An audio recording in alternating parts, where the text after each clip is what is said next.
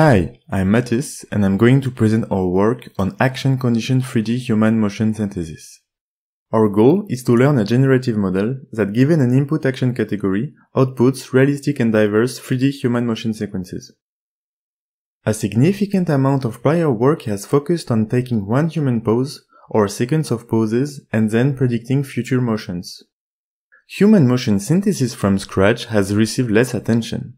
Unconstrained motion synthesis methods often generate actions dominated by walking and running. On the other hand, conditioned motion generation targets controllable synthesis. Examples include music conditioned dance generation. The closest to our work is Action2Motion, a per-frame variational autoencoder on actions using an autoregressive GRU-based architecture. In this work, we present Actor, an action condition transformer VAE. Given a single sequence level latent vector, an action label, and a specified duration, the generator synthesizes a human motion in a single shot in a non-autoregressive manner. The encoder takes a sequence of poses of arbitrary length and the respective action label as input and produces distribution parameters mu and sigma of the motion latent space. Using the reparameterization trick of VAEs, we sample a latent vector z from this distribution. Given a single latent vector z and an action label a, the decoder generates a human motion for a given duration. We use several losses to train the model. KL loss is a standard loss term to regularize the latent space. For the reconstruction loss, we use two terms, both using the SMPL body model. An L2 loss defined on the SMPL poses, represented as rotations, Another L2 loss defined on the vertex coordinates obtained through the differentiable SMPL layer. As the training data, we used noisy SMPL motion estimates.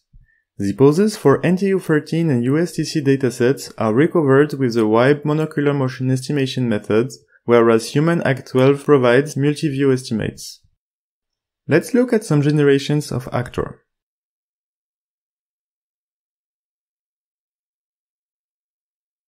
We perform several ablations. We see that our non-autoregressive transformer significantly outperforms the GRU variant. We further validate some of the design choices, such as the non-autoregression, distribution tokens, and bias token. Our model produces diverse outputs. Standing toe touches can be performed either slowly or twice. The action can be performed in different ways, the side kick can be performed with left or right leg. At test time, by using a different SMPL body shape, we can produce different outputs with the same sequence of poses. But since we did not employ a loss to prevent collision, we might have mesh interpenetration in the output. Our model is trained with variable durations by sampling sequences between 60 and 100 frames. Therefore, we are able to generate sequences of different durations at test time. Here, we visualize various generations from the same random noise vector conditioned on the action pickup. While very short generations, such as 40 frames, may represent incomplete actions, long generations are slower to complete the action. We see that while all generations bend down approximately at the same time, the long generations take more time before straightening up.